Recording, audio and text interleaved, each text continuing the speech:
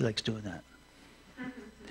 Maybe you'll be a TV producer or a director. All right, uh, good evening, everyone. Could you turn your Bibles to Zephaniah chapter 3, verse 8? Zephaniah chapter 3, verse 8. Uh, we're going to be looking at verse 11 here of Zephaniah chapter 3, where uh, Zephaniah says that Israel will experience the forgiveness of sins, and this will be during the millennial reign of Jesus Christ.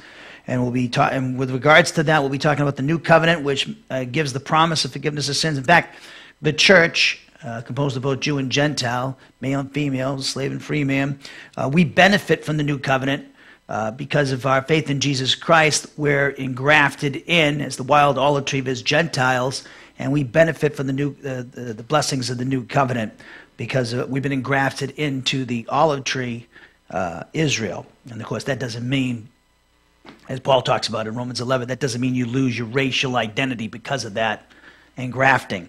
And uh, Paul makes that clear in that chapter. So we'll actually be looking at that chapter, Romans 11, here this evening. So uh, we're going to be looking at not only Zephaniah 3.11 here this evening, but also in regards to the new covenant, Ezekiel 37 and 36, and also Jeremiah chapter 31 the big passage on the new covenant. So that'll be uh, our subject here this evening. And of course, this is all related to the, uh, the regeneration of the nation of Israel. And we'll also see there's a, a restoration of Israel. What I mean by restoration, a restoration to the land. After uh, the dispersion that, that we talked about last evening, the fourth dispersion throughout the world of the Jews, which will take place during the tribulation period, in particular the last three and a half years of the 70th week which is called the tribulation, Great Tribulation period. And then they'll be brought back into the land with uh, Christ's second advent and millennial kingdom. And so this is a very important subject. So this uh, subject is telling us uh, that uh, the nation of Israel does have a future. The church is not the new uh, Israel because the Israel that's descended from Jacob and his 12 sons uh, has a future. And of course, this is in regards to, this is on the basis of the four, the unconditional promises in the four unconditional covenants to Israel, if you want to just say three, if you don't want to break out the, the, uh, the land promises from the Abrahamic covenant. You have the Abrahamic, Palestinian, uh, Davidic, and New covenants that all contain unconditional promises, meaning despite Israel's unfaithfulness, God will still fulfill these co- covenants. And of course, he, is, he does that because he sets aside a, a, a certain amount of believers uh, for the, uh, the tribulation period and the millennial kingdom that will be believers in him, a certain remnant, um, a certain percentage of believers that will believe in him and trust in him in the nation of Israel, those who descended from Jacob and his 12 sons. So, very, very exciting subject here. In fact, uh, verse 11 begins the se- final section, really, of the book where we're just talking about the re- regeneration and restoration of the nation of Israel. We're finished with the Gentiles. We talked about the Gentiles in Zephaniah 3, 8, 9, and 10, their future. So, despite the dark language and the, ju- the, uh, the, the, the, announcement of judgment against Jew and Gentile throughout the first, uh, from Zephaniah 1, 2, all the way to Zephaniah 3, 7, now with verse 8, we have, uh, through the end of the book, we're, we're talking about, we're dealing with prophecies that speak of a uh, prophecies that are pertaining to uh, the great future that God has planned for the nation of Israel and also all the Gentile peoples. So, very, very important things that we're learning here in the Word of God. And uh, just again, I want to do the uh, announce uh, uh, my uh, the um, the summer break that we have every year. this year, it's going to be August 1st to August 20th. August 1st to August 20th, and we'll Therefore, that means all the classes during that period are, are, not, we won't have classes during that entire period. We'll, our last class will be Sunday, July 31st, and then we resume classes Sunday, August 21st. So uh, we're going to. Uh, we're going to uh, take that break during that period of time. And also, we don't have, we're not going to have our prayer meeting at the end of class here this evening and uh, we'll do it next Thursday. So, and also keep Titus in prayer. He's out in Virginia, and say a prayer that he doesn't have any problems with the weather. As Tyler says, he hopes it's not going to be too hot for him to fly back. I don't think they cancel the flights because it's too hot. Buddy, oh buddy, and uh, Cheyenne, you know, she misses Daddy too, so she's going to go with me to pick him up tomorrow. So. Uh, they all miss you, and I miss you, Titus, as well.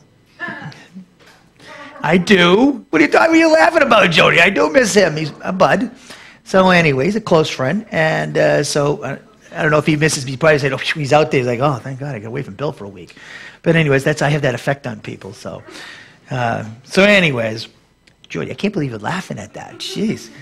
Anyways, and uh, we played a little trick on Jody before class because we, she has this big, huge Bible because she doesn't want to wear glasses, so she likes the big print. And I, we bought some, somebody bought her a net Bible, beautiful net Bible, has never been touched by her, but the lettering is so small. We just put a note to it today on the, on the Bible saying, "Gets a pair of glasses." And so, you, but anyways, she won't do it.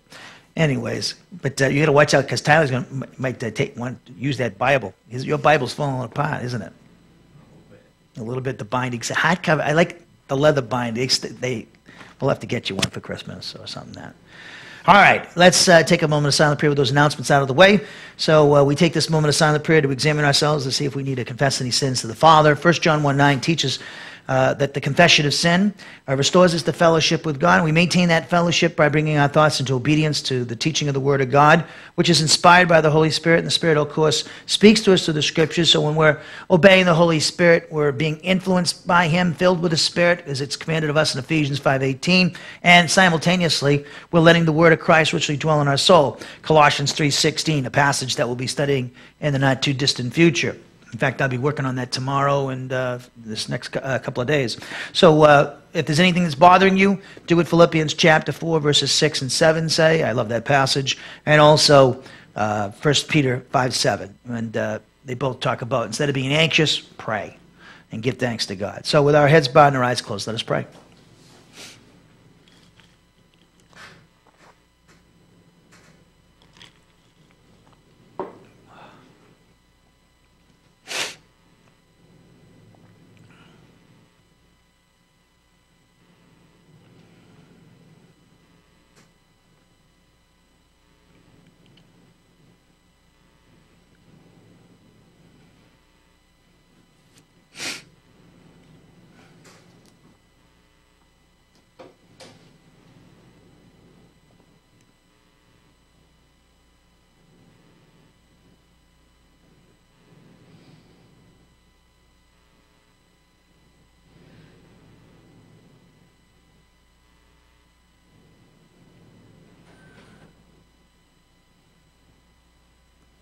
Heavenly Father, we thank you for this day that you've so graciously given to us. We thank you, Father, for uh, this nice, hot, humid weather, better than the, uh, the uh, cold weather, Father, that's for sure. We thank you, Father, for whatever you give us. We thank you for your grace, your mercy, and your love. We thank you for your word and the gift of the Spirit. We pray the Spirit would speak to all of us here this evening as individuals and as a, as a corporate unit. We thank you, Father, for Titus and Jody Thompson and their hospitality and opening up their home to us four days a week. And we just pray that you give uh, Titus uh, uh, traveling mercies tomorrow and a safe return tomorrow. We also uh, thank you for uh, Cheyenne's work with the sound and recordings tonight and the technology. And We pray that you give her wisdom in that area. And we thank you not only for her service, but those taking advantage of the technology. Uh, as they listen in live right now through the website or at a later date through the recordings on the website. And we pray that we'd have, again, no problems with that technology. And we thank you for it. And we also uh, thank you for our union and identification with your Son, Jesus Christ, Father, and giving us the victory over sin and Satan. Uh, through that union and identification, and also it enables us to go boldly to your throne of grace. Your, your throne is now, a throne, now is a throne of grace as a result of your Son, Jesus Christ's death on the cross uh, which reconciled us to yourself and also propitiated you and also redeemed us out of the slave market of sin. So we thank you for this love that you demonstrated and the love your Son has demonstrated toward us uh, when we were yet your enemies. And we pray, Father, we would reflect that love back toward you by being uh, obedient to you and dedicated and devoted to you and also reflected toward each other and uh, operating in the love of God toward each other, just as you have uh, exercised love toward us, by thus being patient and kind and forgiving and tenderhearted with one another, praying for one another, uh, and, uh, as and uh, because uh, and operating in this love because uh, you have loved us. So we know we're obligated to love each other because of the love you've demonstrated toward us and are demonstrating toward us now and will dem- demonstrate toward us in the future. We pray that the Spirit would speak to each person here this evening in our study of Zephaniah 11, 311. We pray that the Spirit would speak to each person and help everybody understand, make application of what's being taught, And please break down any barriers that sin and Satan would put up that, that would hinder that from happening. We pray that you would empower me to communicate your first, your full counsel to your people so that this could take place. And so that with one voice we could worship and praise you and thank, give thanks to you and draw closer to you in a more intimate fellowship with you and also your Son in the Spirit. So, Father, we pray for this service in our Lord and Savior Jesus Christ's name, the King of Kings and the Lord of Lords. Amen. If you could look at Zephaniah chapter 3, verse 8. Uh, verses 8, 9, and 10 deal with the, uh, the regeneration of the, the pr- predictions, prophecies related to the, uh, not only the, the judgment of the Gentile nations during the tribulation periods, Daniel's 70th week, but uh, also their regeneration. And, uh, now we get into verses 11. We begin tonight a study of verses 11 through the end of the book, and they're dealing with the, the, the national regeneration of the nation of Israel and restoration to the na- of the nation of Israel. And uh, what I mean by regeneration and national regeneration, I mean that in contrast to the first advent of Jesus Christ, the majority of Jewish people will trust in Jesus Christ uh, at his second advent. Of course, there'll be a percentage, a remnant that will be believed during the tribulation period, the 144,000 that we saw last evening in Revelation 7. But the promise is at the second advent, it's mentioned in Zechariah 12 and 14, uh, Romans 11, we'll see here this evening, and in Jeremiah 37, that the Jewish people as a whole, as a, the majority of which will trust in Jesus Christ at his second advent to deliver them from Satan, uh, Antichrist, the false prophet, and the tribulational armies which will have surrounded Israel at that time. And uh, he's their only hope, and they turned him finally, and they, uh, they trust in him, and he delivers them in a mighty, mighty way. Uh, the, it'll be the greatest moment in the history of the nation of Israel at that time. And uh, we'll be witness to it because we're coming back with Christ for the deliverance of the nation of Israel, the churches.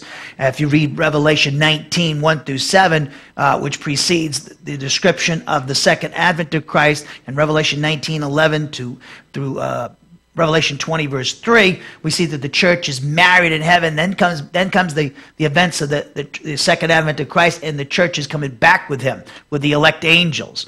So uh, we're, we're delivered from the wrath to come, the tribulation period. 1 Thessalonians 1.10 and 1 Thessalonians 5.9 teach this, and so uh, we can be encouraged by that. Uh, but uh, knowing these things, we should be motivated to evangelize people so they might avoid uh, this uh, terrible, most terrible time in all of human history uh, and, uh, through faith in Jesus Christ. So, verses 11 through the end of the chapter in Zephaniah 3 are dealing with the national regeneration of Israel and also the restoration of Israel. When I use the word restoration in this context, I'm talking about God's going to restore the Jewish people to the land, and He's not going to, they're never going to be removed from that land or dispersed from that land ever again. Uh, the Jewish people, unless they're born again and saved today, they don't know uh, what terrible things are coming to, ahead to them, uh, coming in the future to them. But they also don't know that the, their, their people have a glorious future planned in the Word of God. Many of them don't know this.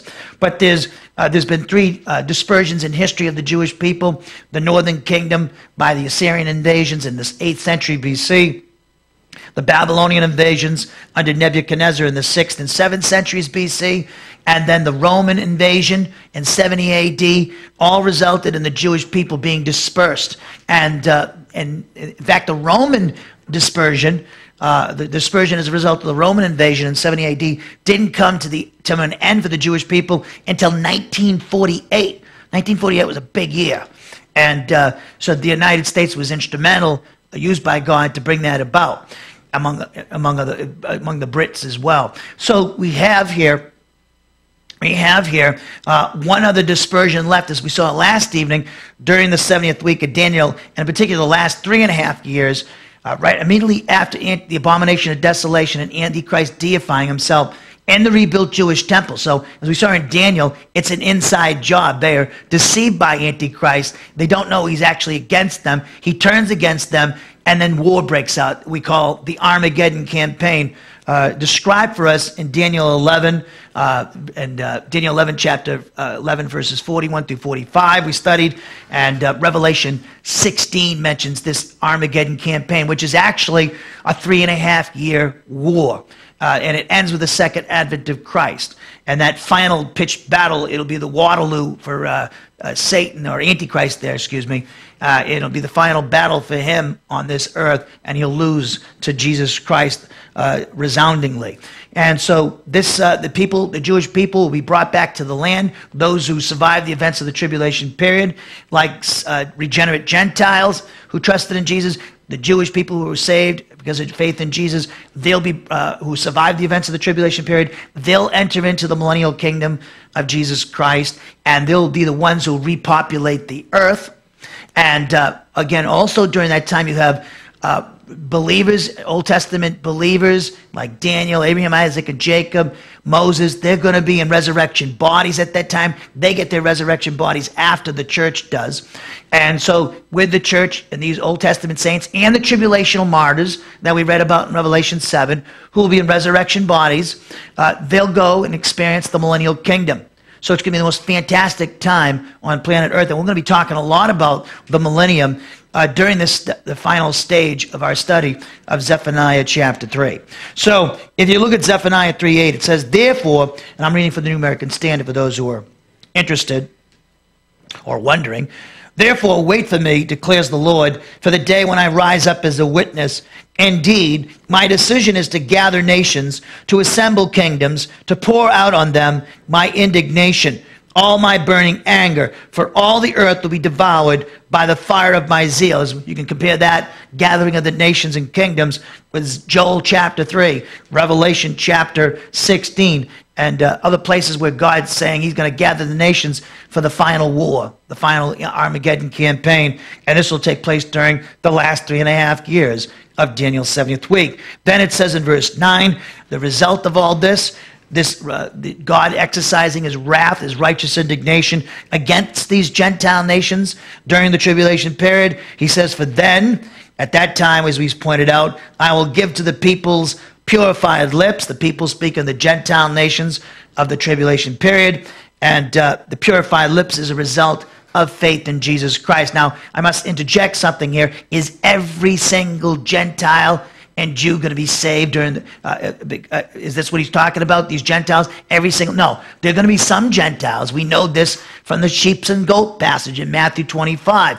There'll be some Gentiles that will not be uh, for the, the, uh, the Jews. They will not trust in Jesus. And there'll be a small remnant of Jewish people who will not believe in Jesus. And we'll, we can see this in, uh, We'll see this in Ezekiel chapter 20. Maybe I'll take you there tonight, where God will purge the Jewish nation of the rebels in the nation. And it's going to be a small remnant, uh, of course, because the majority are going to trust in Jesus and the nation of Israel at his second advent. So he says, For then I will give to the people's purified lips as a result of faith in Jesus, that all of them may call on the name of the Lord. They'll pray to him, worship him in prayer, to serve him shoulder to shoulder. And so uh, as we pointed out last evening, that means uh, this, pre- this prediction here is telling us that the, those who believe in Jesus as Savior, they don't lose their uh, racial identity. So if you're a Gentile, uh, it's true today in our day and age, in the church age, you don't lose your racial identity. Just like you don't lose your gender identity. You don't, you know, you don't become neutered, okay, when you be- believe in Jesus. So we're going to see this in Colossians chapter 3. It says there's neither Jew nor Gentile, slave or free, male or female. All are equal in Christ. That means you have equal privilege, equal opportunity to execute the plan of God, to worship God. You have equal privilege, equal opportunity uh, to experience victory over sin and Satan because of your identification with Christ. You're still if you're a Gentile, you still remain a Gentile. If you're a Jew, you're a Jew. If you're a woman, you're a woman. If you're a man, you're a man. Whatever. You're a slave. You can you can you, you don't lose your identity racially. So that's very important because there's, as you heard me say, there are people uh, in this area and around the world. And this is not new. It's been around for a while in the church. The Gentiles today who think because they believe in Jesus that they now become Jewish and they walk around with yarmulkes on their head and, and prayer shawls, Jewish prayer shawls, and all kinds of stuff. And, and they're totally mistaken and uh, are, misunderstanding of the scriptures. So then it says in verse, that's all, when I'm, when I'm flipping these things out there about that, a lot of times I'm having these people in mind because you never know, some of them might be listening. So maybe we can help some of these people to get away from that false teaching that they're listening to. And it takes humility for someone to admit that they're wrong and get away from false teaching. Many people stay in false teaching uh, because of their pride. They, they don't want to admit that they were wrong. And uh, I'd rather be admit I'm wrong than continuing an error. Why, why, would you want to do that? At the end of the day, you got to please the Lord. Forget about what people think or your pride. So it says in verse 10 From beyond the rivers of Ethiopia, my worshippers, my dispersed ones, will bring my offerings. As we saw last evening, the dispersed ones are the 144,000 Jews of Revelation 7 and 14, those chapters. And they'll be dispersed throughout the world because of Antichrist persecution. And the Gentile nations will be evangelized by these Jews as we saw in Revelation 7 last evening. That's why I brought you there. And um, beautifully, they will be taking, as we saw with Isaiah 66, 19 and 20 last evening, these Gentile people who get saved because they're evangelized by these uh, born again Jews, they'll take the Jews back to Israel, to Jesus in Jerusalem, as a grain offering, as an offering of thanksgiving for these, for these Jewish believers and evangelizing them and saving them uh, through the gospel, communicating the gospel. Then it says in verse 11, and that day you will feel no shame because of all your deeds by which you have rebelled against me.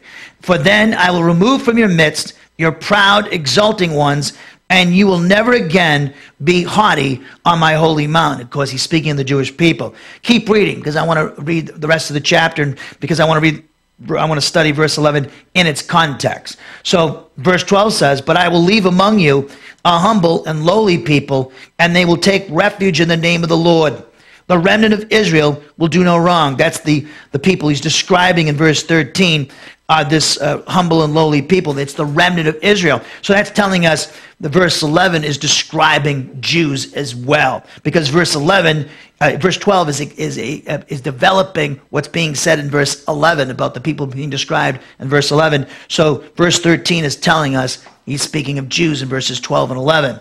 The remnant of Israel will do no wrong and tell no lies, nor will a deceitful tongue be found in their mouths, for they will feed and lie down with no one to make them tremble. Shout for joy, O daughter of Zion. Shout in triumph, O Israel.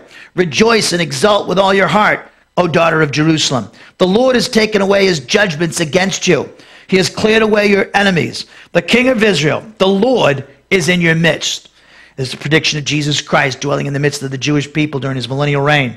You will fear no disaster. You'll fear disaster no more. Why? Because the king is in the middle of their is in the midst of their nation. And that day it will be said to Jerusalem, Do not be afraid, O Zion. Do not let your hands fall limp, as they did during the tribulation period. The Lord your God is in your midst a victorious warrior because of, of what he did at the second advent. He will exult over you with joy. He'll be quiet in his love. He will rejoice over you with shouts of joy. I will. I love that. He will rejoice over them with shouts of joy, and we'll be witness to that. I tell you, remember, we forget Jesus is not just God; He's man, and He has the emotions of a man, human being, like we do, and He's going to be so excited. He's been waiting for a long time for this to take place. You know, He's been sitting on the right hand of God, controlling history, and He can't wait for this to take place. So, as a man, with emotions and who loves the Jewish people, this is going to be the highlight for him. So then, uh, uh, uh, at that point, so then he goes on to say in verse 11, uh, verse 8, excuse me, 18. 11, 8, I'm not even in the ballpark. 18, verse 18, I will gather those who grieve about the appointed feasts. They came from you, O Zion. The reproach of exile is a burden on them. Behold, I'm going to deal at that time with all your oppressors.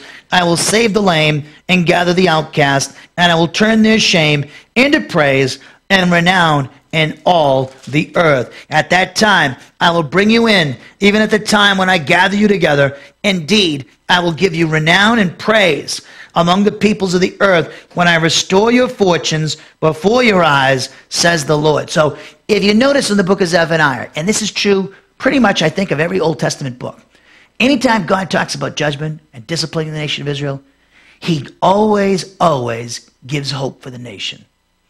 Though he talks about judging and disciplining them, he always gives them hope of a bright future. And that's what we're seeing in the book of Zephaniah.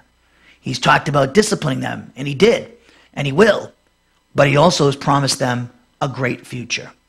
And that uh, he, is, uh, he has set aside 7,000 won't bow the knee to Baal, meaning he's always set aside a remnant who will trust in him and the nation of Israel. So, though many in Jew, the Jews in history and many Gentiles in history have rejected Jesus as Savior, we know that we know that during the uh, there's a future where it's going to be flip flop during the millennial reign of Christ. Now, if you look at Zephaniah chapter 3, verse 11, we're going to uh, take this verse, uh, we're going to uh, uh study this verse in, in uh, two nights, tonight and then next Tuesday.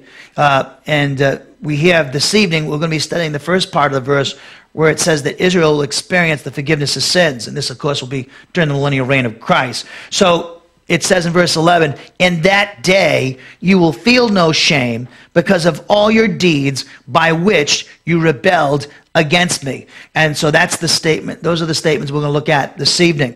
And we'll take the rest of the verse uh, next week. So the phrase, in that day you will feel no shame. The word for day, remember, it's uh, in this particular passage, uh, in, in, the book of Zephaniah, and this is true in Daniel, it can refer to a time period, a period of time uh, it could be indefinite or a certain definite period of time.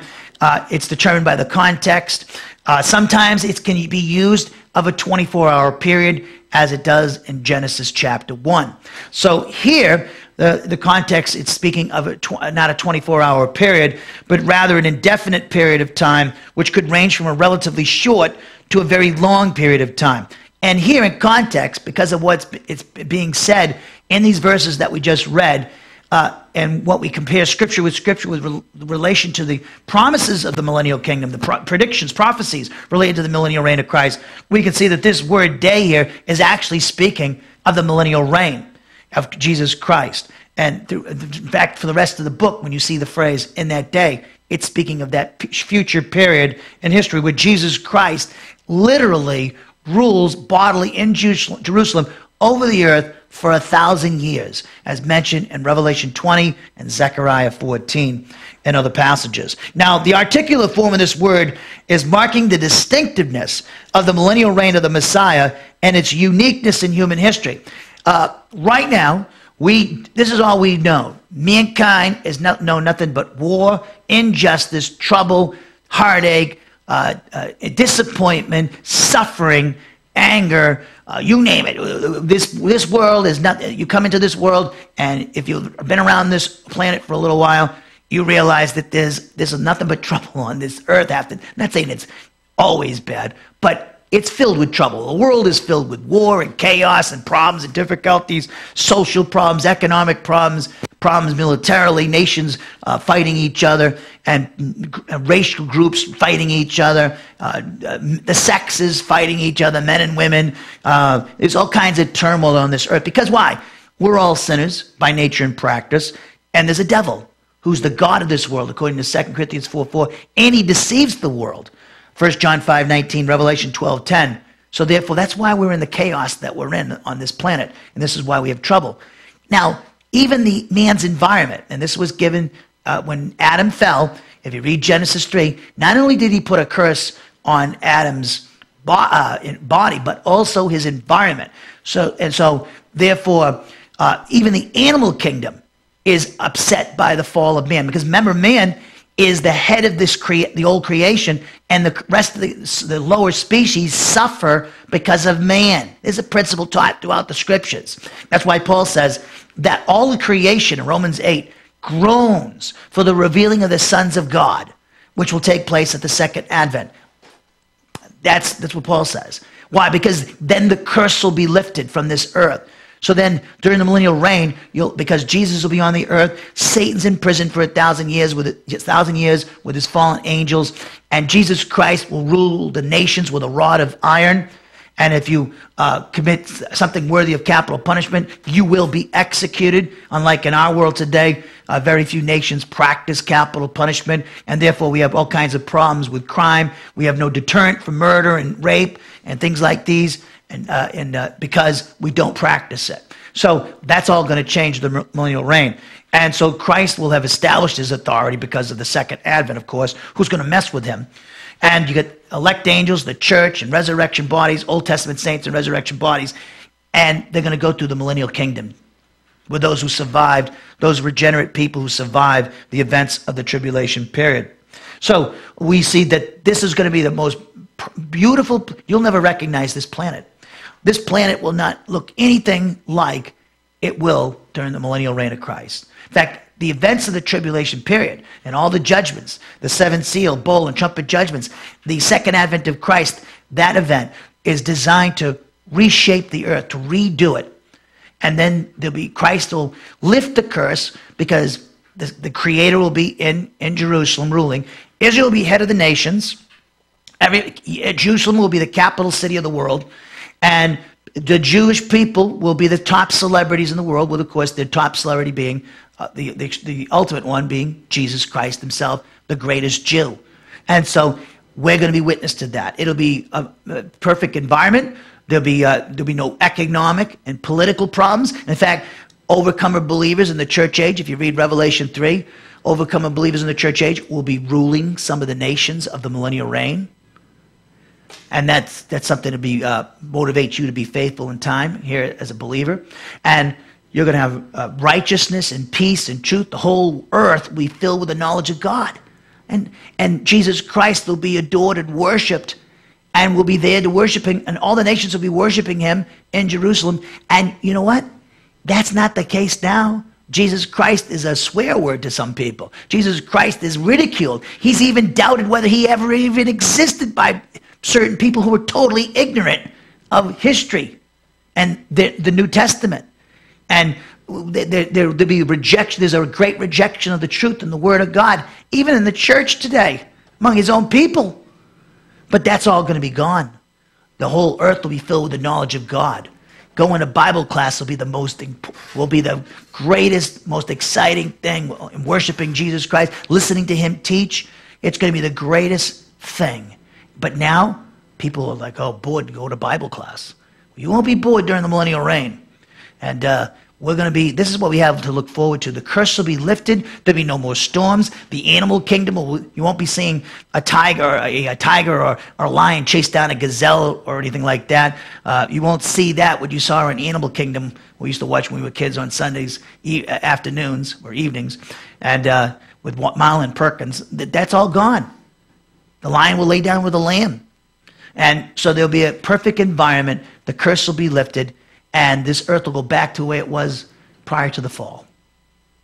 So, and that's because the King, God, Jesus Christ, will be on the earth. Now, this word day, yom, it's the object of the preposition be, which means during here in this context because it's functioning as a marker of an extensive time within a larger unit. Therefore, it denotes that during the millennial reign of the Messiah, Jesus Christ, Jerusalem will feel no shame whatsoever because of all of her sinful deeds by which they rebelled against him.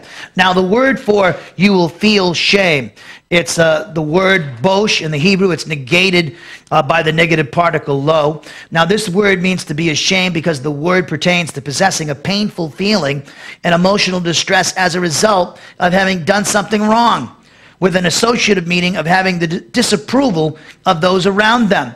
Now, in our day and age, even among the believers in the church, there's no shame for the things that they do, people do. They're not ashamed of it. They have no guilt, shame. It's like they have no, they have no fear of God. Uh, Paul talks about being feeling a uh, church age believers feeling ashamed, feeling ashamed, and 1 Peter 4:16, feeling ashamed of their pre-conversion lifestyle as unbelievers. And, you know, I, am ashamed of the things I did when I was an unbeliever. I'm ashamed of some of the things I've done as a believer. And that's a healthy thing because it, it demonstrates that you are, uh, you are underst- you're d- adopting God's view of sin. Now, does that mean you should be paralyzed by shame? No. You, try, you confess your sins as a believer, you're forgiven your sins, and so you move on. But if you, are going to look at your look at your your sin, you shouldn't be. Uh, oh, I'm happy I did that. You should be ashamed of, of the things that you do, and you and I do. It's not that demonstrates you have a you have a, you're adopting God's view of what sin is. He hates it, and you should hate it, and you should. Uh, and you and but again, you can't let it paralyze you. You got to confess the sin, and move on. Do what God says. And I don't want anybody going. I'm you know feeling ashamed 24 hours a day and uh, you know drawing the shades and being paralyzed by guilt and shame. That's not what I'm talking about here. So we need, like in our country, a lot of people they're just not ashamed of the things they say and they do. They do on Facebook or Twitter, the, the way they act, the way they conduct themselves, their behavior. It's embarrassing. But some of these people, because they don't have truth, they rejected truth, they rejected God, and whether His revelation in creation or the, the gospel or the Bible, and they reject Him, so therefore they don't feel any guilt or shame. Or they don't, they're so uh, deceived by Satan's cosmic system that they don't have any shame for the things, sinful things that they do. They, for manifestation of, of the gay and lesbian thing that's going on in our, in our world today. Uh, they're so indoctrinated by the devil's world that it's okay. Every, every TV show now has some a gay person on there, a lesbian in there, because they're trying to brainwash people, and this is okay. And so now you get a generation that's come up where when I was growing up, it was in the closet. Nobody was, you know, in fact, they were not, you would, if you were gay or lesbian, you wouldn't want to know it, let anybody know you were. Now, today, it, it doesn't matter. Everybody walks around and they don't care. There's no shame. It's not in the closet, we used to call it. You know why? Because they don't have any shame. They don't think there's anything wrong with that. Why? Because they've rejected God's word. They've rejected God. That's why. And that's a scary place for this country to be when there's no shame for the things that we say and do. And that, I'm not just talking about the, the gay or lesbian thing, but just watching politics or you know, tel- different things on television, or way people are, conduct themselves in society today, they, they, they should be ashamed of the way they treat each other and the way they, they, uh, they abuse each other. And, and, and it's just, it's, it's, it, we're, we do so many things that are so shameful in this country, yet nobody's feeling any shame. And it's something to pray for for your country. Now, the second person, feminine singular form of this verb, is personifying the city of Jerusalem, and specifically, it refers to regenerate Jews living during the millennial reign of Jesus Christ. So, therefore, this verb, bosh, you will feel shame, speaks of the shame experienced by these regenerate Jews when they were unsaved, unregenerate, as a result of living a sinful life in relation to God who is holy. Now, the word's meaning, as I said earlier, is emphatically negated by the negative particle lo, which in this context means never or no longer. Therefore, these two words indicate, Bosh and Lo, they indicate that Jerusalem, and specifically the Jews in this city, will no longer be ashamed of their sinful deeds committed by them when they were unregenerate. Why? Because they'll receive the forgiveness of their sins, as we'll see, as promised under the new covenant. And how do they appropriate the forgiveness of their sins? Just like you and I did in the church age. We tr- they trusted in Jesus as their Savior. Now, look at uh, Zephaniah 3.11 in my translation, please.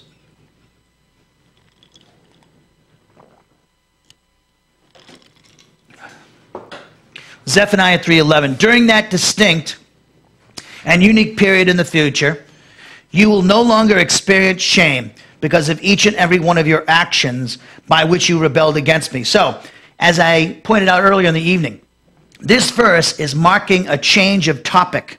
Uh, specifically, it's marking a change from prophetic announcements regarding the repentance of Gentiles in Zephaniah 3 8 through 10 to a prophetic announcement regarding the repentance of the Jews in Zephaniah chapter 3 11 through 20. God, through the prophet Zephaniah, predicts that during, uh, that during that distinct and unique period of history in the future, Jerusalem will no longer experience shame because of their actions by which they rebelled against God.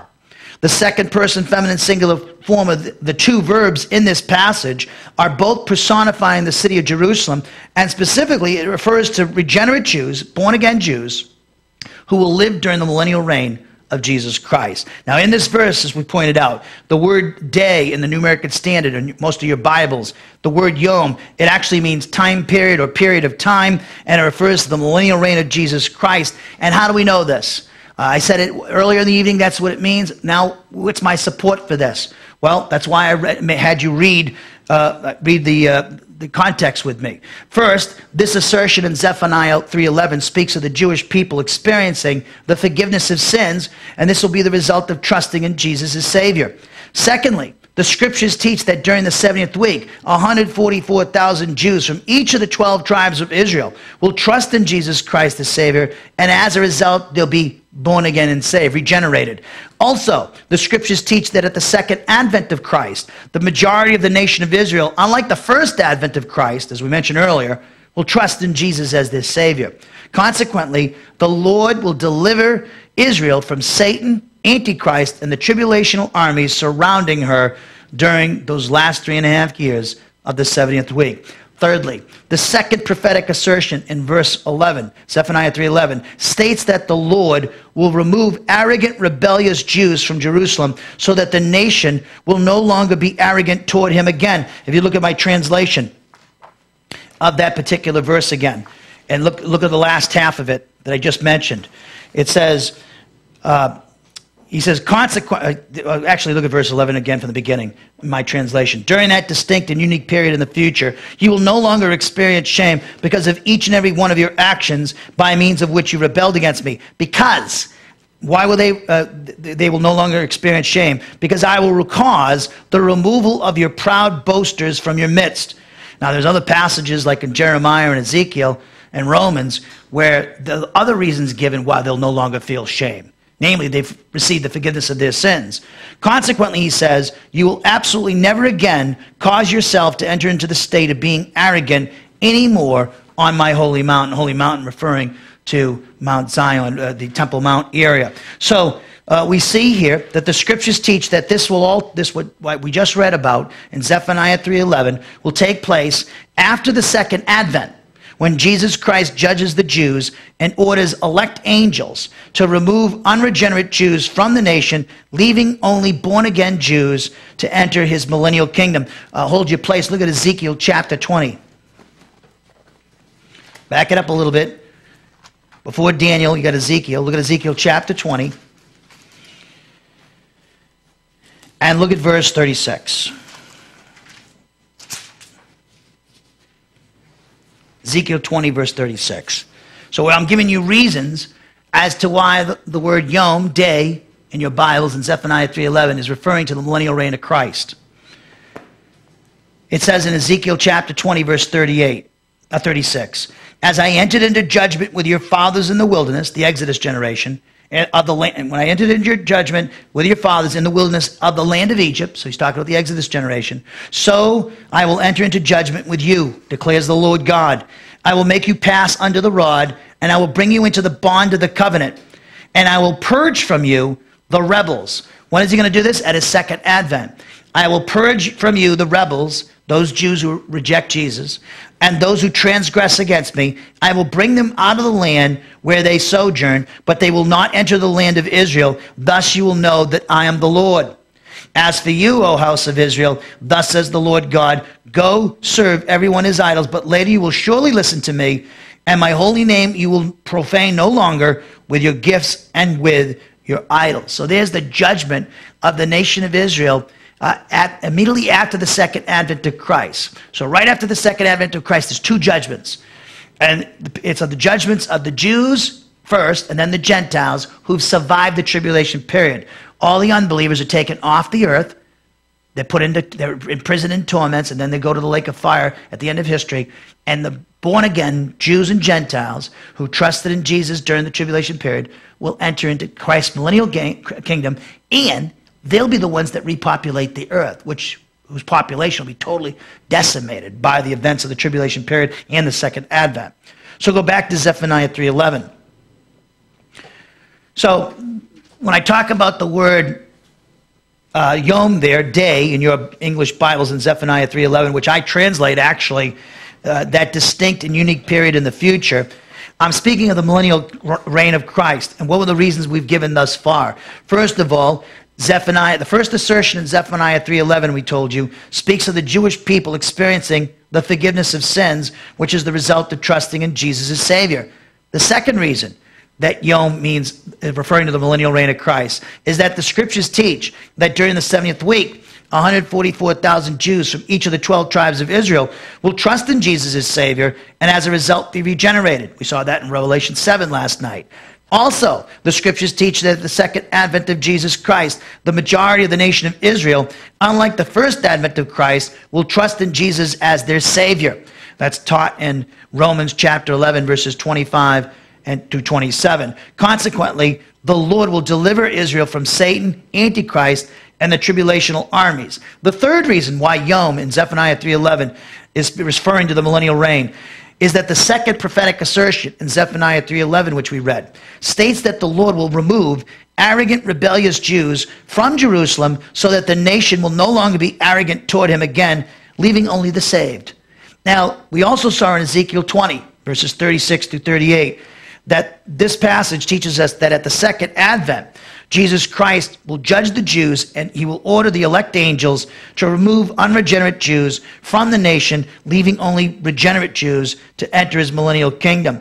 And fourthly, there's nothing in history or in past biblical history which corresponds to these two prophetic declarations in Zephaniah 3:11. So they must be referring to something yet future. So this noun is not speaking of the second advent of Christ, uh, since Zechariah chapter 12, 9 through 14 predicts the nation of Israel will suffer shame and sorrow at the second advent because of their forefathers crucifying Jesus and rejecting him as their Savior. Look at that passage. Hold your place. Look at Zechariah.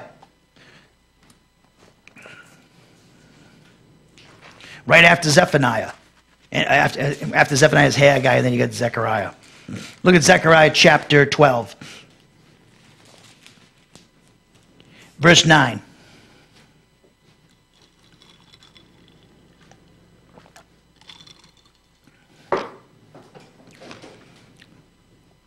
Zechariah chapter 12, verse 9. I love this book, it's a great book. And in that day, I will set about to destroy all the nations that come against Jerusalem. So the passages we've studied in Revelation 19 and 20, Zechariah 14, other passages the Gospels, Jesus talks about this. He's talking about the second advent of Christ. I will pour out on the house of David and on the inhabitants of Jerusalem the spirit of grace, he says, and of supplication, so that they will look on me whom they have pierced, and they will mourn for him as one mourns for an only son. Why are they mourning for him? Because they're ashamed of what their forefathers did to Jesus who they crucified. And they will weep bitterly over him, like the bitter weeping over a firstborn. Why would they be weeping? Because they feel ashamed. They're, they, they feel, like we can't, I can't, we're the, our forefathers crucified this king, the Messiah.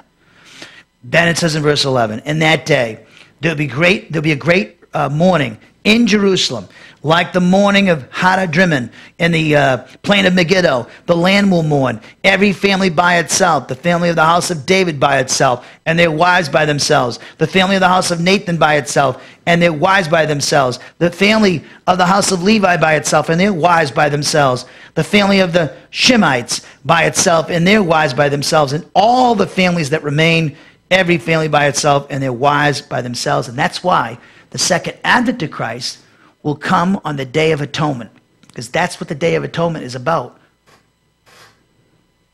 It'll be literally fulfilled the Day of Atonement at the second advent of Christ. So, there we have it. Now go back to Zephaniah chapter 3, verse 11. Those are the reasons. Those are the four major reasons I've given you why the word Yom in Zephaniah 3.11, translated day by your English tra- translations, is referring to the millennial reign of Christ, not the second advent of Christ. So, therefore, this word is speaking of the millennial reign of Christ when regenerate Jews will be experiencing the forgiveness of sins in a relationship and a fellowship with the triune God. And this is the direct result of the nation of Israel trusting in Jesus as their Savior during the last three and a half years of the 70th week and at his second advent. The shame, which will no longer be experienced by these born again Jews who will live during the millennium, is a reference to the shame they experienced as unbelievers or in their unregenerate state as a result of living a sinful life in relation to God who is holy. The reason for their experiencing this shame was, of course, their sinful actions. These actions are sinful because they were the means by which they rebelled against God. In their unregenerate state, and this is true of us too, us believers in the church age, these Jews openly defied the God of Israel and his holy standards by means of their sinful actions. They took part in a rebellion against God along with unregenerate Gentiles, which the scriptures teach is led by the devil himself, Satan. Therefore, this prophetic, this first prophetic declaration in Zephaniah 3:11 predicts that during a distinct and unique period of history in the future, the Jews will no longer experience shame because of each and every one of their actions by means of which they rebelled against God. And this is referring to the experience of the nation of Israel during the millennium because she has been regenerated through faith in Jesus Christ. Consequently, they will experience the forgiveness of sins which was promised to them under the new covenant as a result of their faith in Jesus Christ. So let's take a look at a couple of passages. Look at uh, uh, uh, Jeremiah chapter 31 first, which speaks of the new covenant. Look at Jeremiah, back it up. Go to Jeremiah before Ezekiel. Go to Jeremiah chapter 31, verse 31. Um, maybe I'll start you a little early before that. Jeremiah chapter 31. Look at verse 27. Start there.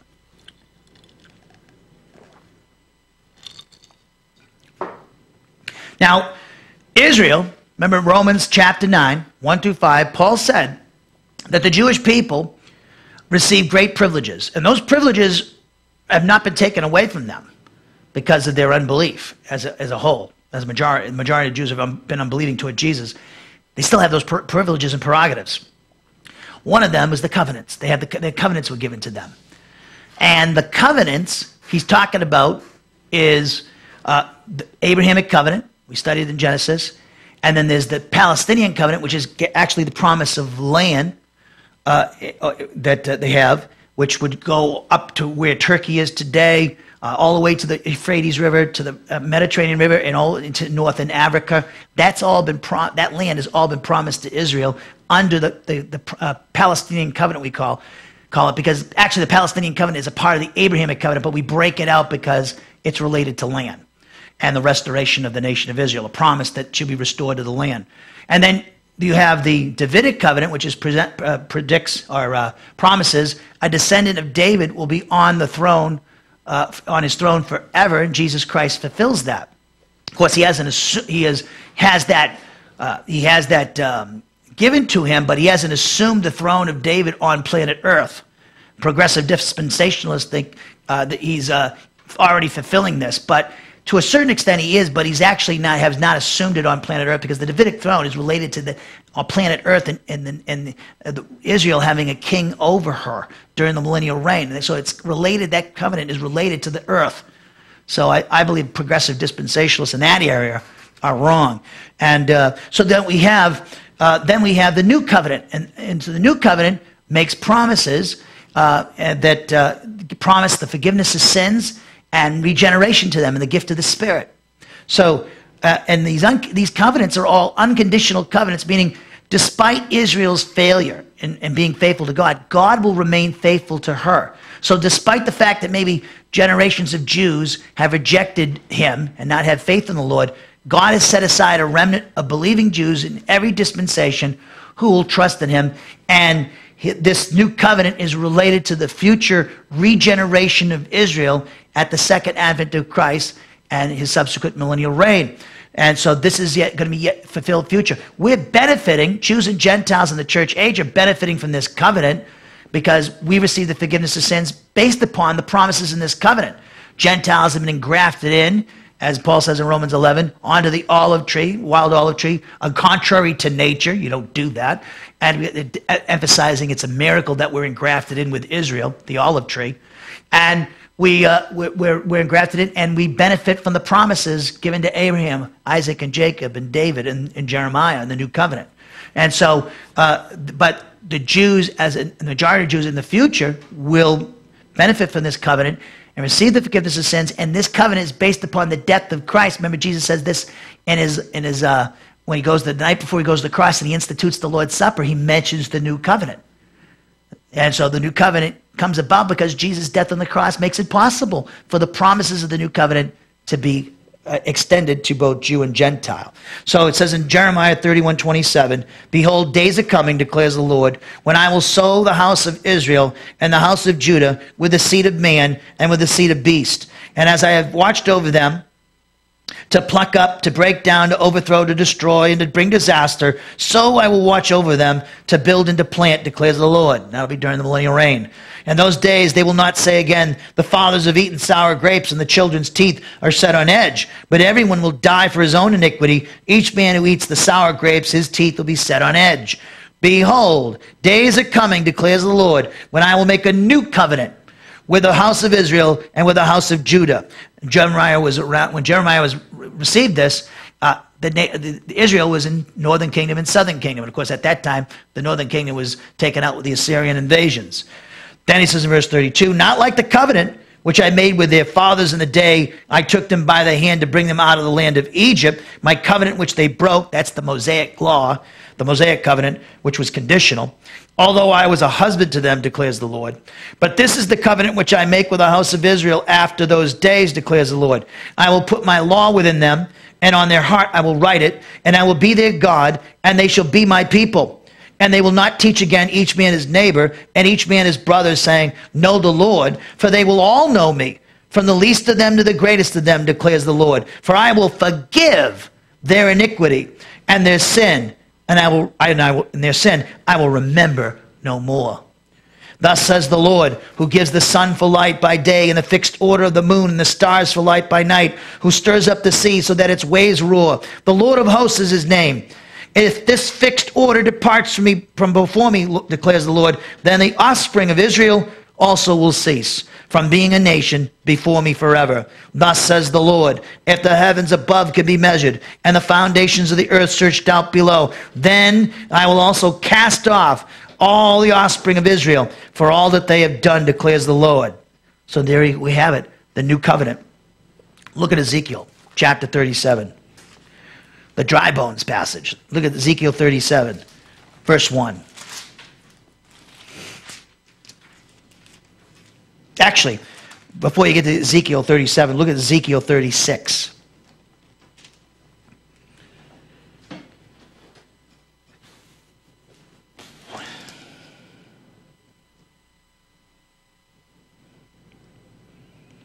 Ezekiel 36, verse 22. Therefore say to the house of Israel, Thus says the Lord God, It is not for your sake, O house of Israel, that I am about to act, but for my holy name, which you have profaned among the nations where you went I will vindicate the holiness of my great name, which has been profaned among the nations, which you have profaned in their midst. Then the nations, the Gentiles, will know that I am the Lord, declares the Lord, when I prove myself holy among you in their sight. For I will take you from the nations, gather you from all the lands, and bring you into your own land. Then I will sprinkle clean water on you, and you'll be clean. Speaking of their uh, getting saved and I will cleanse you from all your filthiness, from all your idols. How will they do that? Through faith in Him, faith in Jesus. Moreover, I will give you a new heart and put a new spirit within you, just like we have as Christians in the church age. And I will remove the heart of stone from your flesh and give you a heart of, uh, heart of flesh. And I will put my spirit within you and cause you to walk in my statutes, and you'll be careful to observe my ordinances. You will live in the land that I gave to your forefathers, so you'll be my people, and I will be your God. Moreover, I will save you from all your uncleanness, and I will call for the grain and multiply it, and I will not bring famine on you. I will multiply the fruit of the tree and the produce of the field, so that you will not receive again the disgrace of famine among the nations. Then you will remember your evil ways and your deeds that were not good, and you will loathe yourselves in your own sight for your iniquities and your abominations. Sounds just like Zephaniah, doesn't it? Chapter 3, yeah. And I am not doing this for your sake, declares the Lord. Let it be known to you. Be ashamed and confounded for your ways, O house of Israel. Sound familiar? Thus says the Lord, on the day that I cleanse you from all your iniquities, I will cause the cities to be inhabited, and the waste places will be rebuilt waste places after the, the, devastation of the tribulation period. The desolate land will be cultivated instead of being a desolation in the sight of everyone who passes by. They will say, This desolate land has become like the Garden of Eden, and the waste, desolate, and ruined cities are fortified and inhabited. And then the nations that are left round you, about you, who survived the events of the tribulation period, that they will you will know that I the Lord have rebuilt the ruined places and planted that which was desolate. I the Lord have spoken and will do it. Now look at Ezekiel chapter 37 verse 1 great passage, the dry bone, dry bone passage, which promises Israel be regenerated. Verse 1, Ezekiel 37 1. The hand of the Lord was upon me, and he brought me out by the Spirit of the, the Spirit of the Lord and set me down in the middle of the valley, and it was full of bones. He caused me to pass among them round about, and behold, there were very many on the surface of the valley, and lo, they were very dry. And he said to me, Son of man, can these bones live? And I answered, O Lord God, you know. And again he said to me, Prophesy over these bones, and say to them, O dry bones, hear the word of the Lord. Thus says the Lord God to these bones Behold, I will cause breath to enter you that you may come to life, and I will put sinews on you, make flesh go back on you, cover you with skin, and put breath in you that you may come alive, and you will know that I am the Lord. So I prophesied as I was commanded. And as I prophesied, there was a noise, and behold, a rattling, and the bones came together, bone to its bone. And I looked, and behold, sinews were on them, and flesh grew, and skin covered them, but there was no breath in them. Then he said to me, Prophesy to the breath, prophesy, son of man, say to the breath, Thus says the Lord God, Come from the four winds, O breath, and breathe on these slain and they come to that they come to life. So I prophesied as I commanded, as he commanded me, and the breath came into them, and they came to life and stood on their feet, an exceedingly great army. Then the vision is explained. Then he said to me, Son of man, these bones are the whole house of Israel. Behold, they say, Our bones are dried up, and our hope is perished. We are completely cut off. Therefore prophesy and say to them, Thus says the Lord God. Behold, I will open your graves and cause you to come up out of your graves, resurrection, my people, and I will bring you into the land of Israel, restoration of the nation of Israel. Then you will know that I am the Lord when I have opened your graves and caused you to come up out of your graves, my people, Abraham, Isaac, and Jacob, Moses, Daniel. I will put my spirit within you, and you will come to life, and I will place you on your own land. Then you will know that I, the Lord, have spoken and done it, declares the Lord.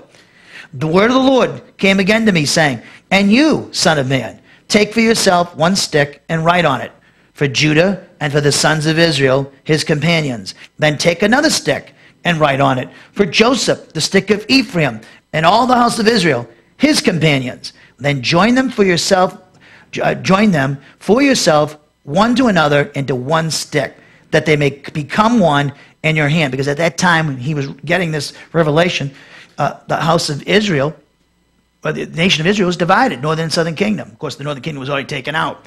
Ezekiel and Jeremiah uh, both suffered from the Babylonian invasions. Verse 17, uh, verse 18, when the sons of your people speak to you, saying, Will you not declare to us what you mean by these? Say to them, Thus says the Lord God, Behold, I will take the stick of Joseph, which is in the hand of Ephraim, and the tribes of Israel, his companions, and I will put them with it, with the stick of Judah, and make them one stick, one nation, and they will be one in my hand. The sticks on which you write will be in your hand before their eyes. Say to them, Thus says the Lord God Behold, I will take the sons of Israel from among the nations where they have gone, and I will gather them from every side and bring them into their own land. And I will make them one nation in the land on the mountain of Israel, mountains of Israel, and one king, Jesus, will be over them, and they will no longer be two nations, no longer be divided into two kingdoms. They will no longer defile themselves with their idols, or with their detestable things, or with any of their transgressions, but I will deliver them from all their dwelling places in which they have sinned, and they will cleanse them, and, and, and uh, they will be my people, and I will be their God. That's going to be fulfilled during the millennial reign. Never been fulfilled in history. Because Israel's continued to sin against him. So then it says in verse 24, my servant David will be king over them. And they, that's, that's actually a reference to Jesus, the descendant of David. And they will all have one shepherd, and they will walk in my ordinances and keep my statutes and observe them. They will live on the land that I gave to Jacob my servant, in which your fathers lived, and they will live on it, and they and their sons and their sons forever. And my servant David will be their prince forever. I will make a covenant of peace with them, the new covenant, and it will be an everlasting covenant with them, and I will place them and multiply them, and will set my sanctuary in their midst forever. My dwelling place also will be with them, and I will be their God, and they will be my people. Fulfilled, of course, during the millennial reign of Christ.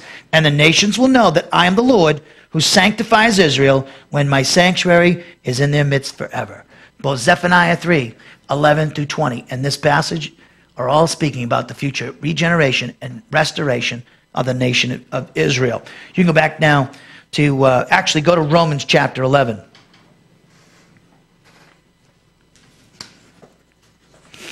So, in Zephaniah chapter 3, verse 11, this verse is referring to the nation of Israel experiencing regeneration and the forgiveness of sins promised to them under the new covenant, which we read about, as a result of trusting in Jesus as their Savior.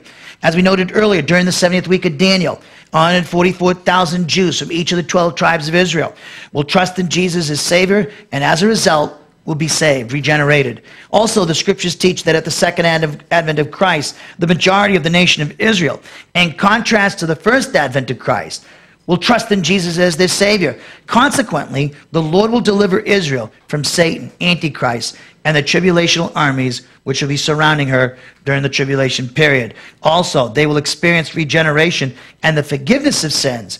Joel 2:26 also predicts that the people of Israel and Jerusalem will never be put to shame again. As Isaiah 54:4 also predicts Israel one day in the future no longer experience shame for her sinful past. And the Apostle Paul in Romans 11, 25 through 27, he teaches the Roman church that the nation of Israel will experience a national regeneration and thus the forgiveness of their sins at the second advent of Christ. Look at Romans chapter 11, please, if you haven't turned there yet, like me.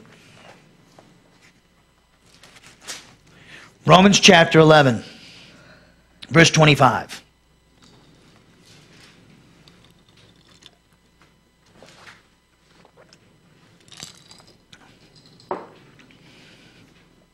Now, Romans 9, 10, and 11 is basically Paul saying, vindicating God and his righteousness because uh, he's made God's, uh, Paul's made some st- uh, assertions about God in Romans 8 with the church.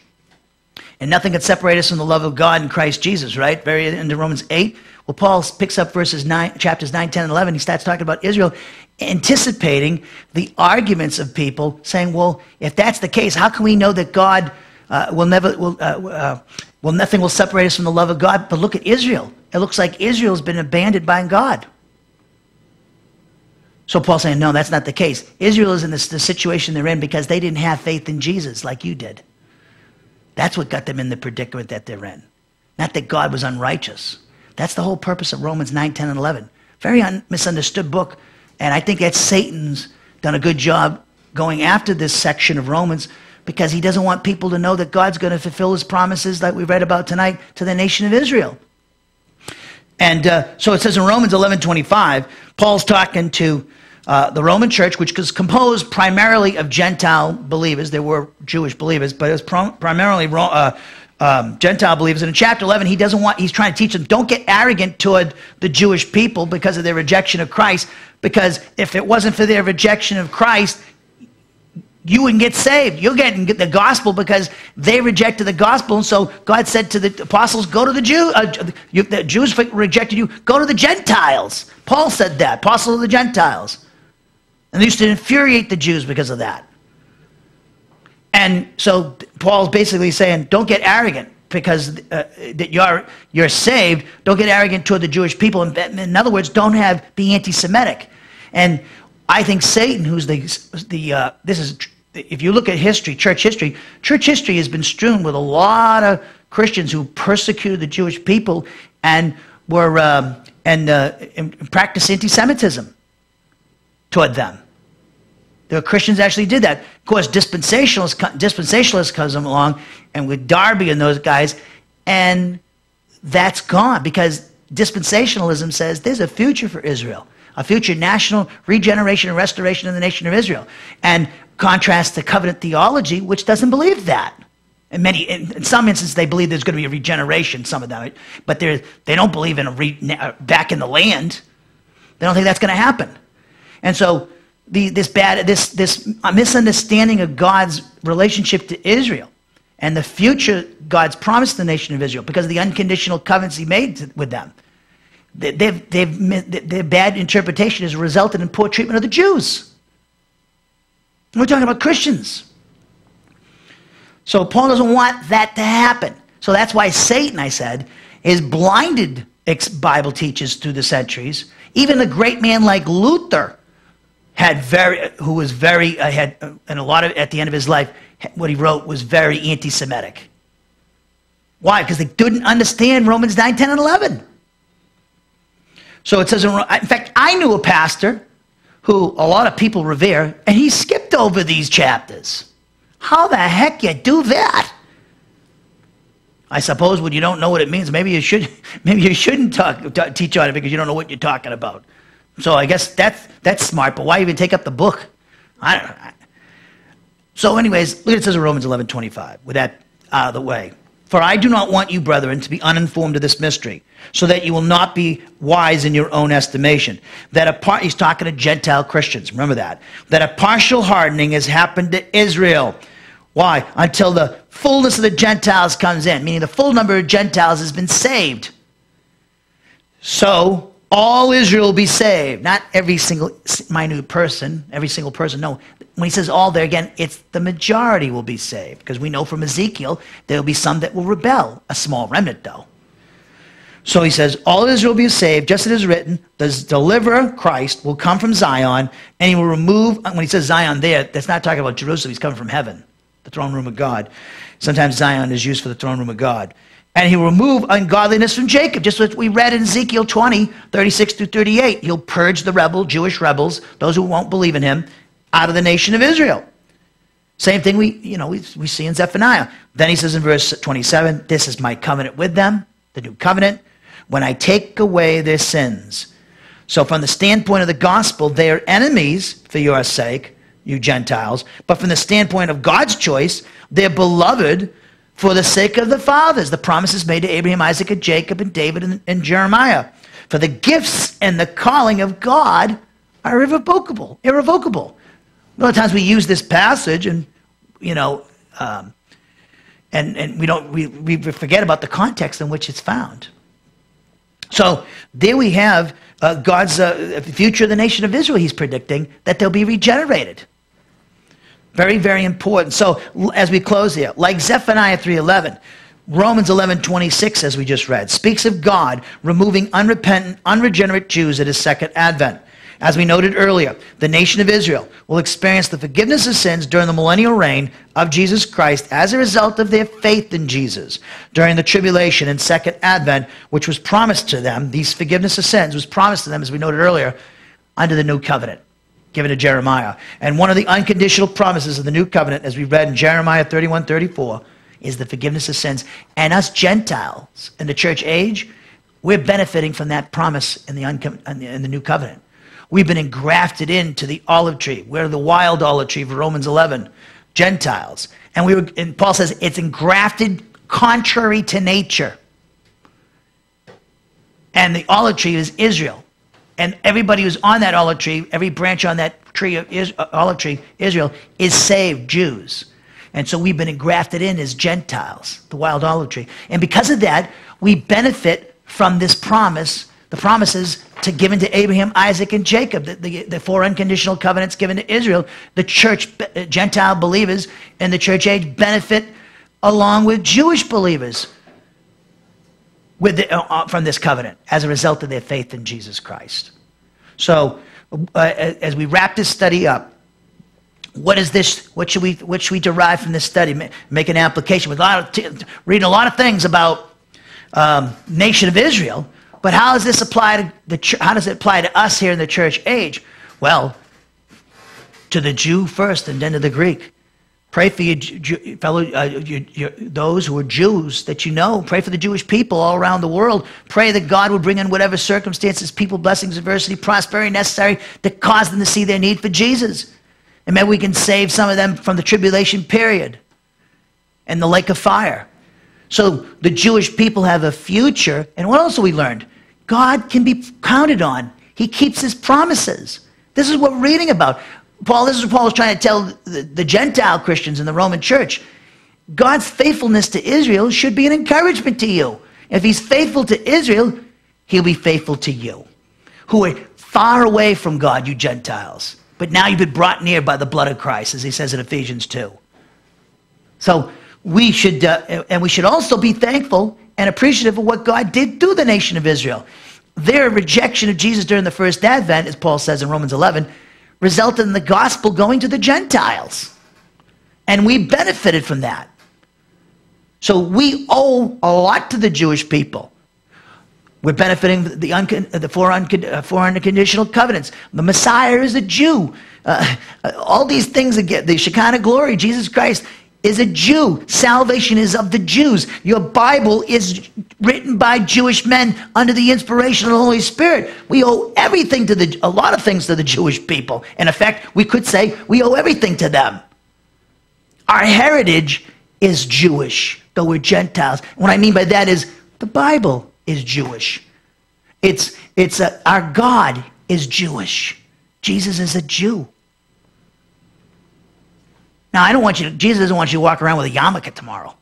You know, the little thing on the head and everything, or a prayer shawl or something. You know, and, you know, starting talking uh, Yiddish. You don't even know what that is, right?